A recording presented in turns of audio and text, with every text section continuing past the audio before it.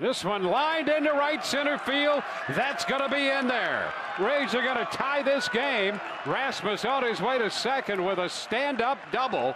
And again, it's a tie game this time at seven. Colby Rasmus wasted no time. Rasmus now three for four off Barnett.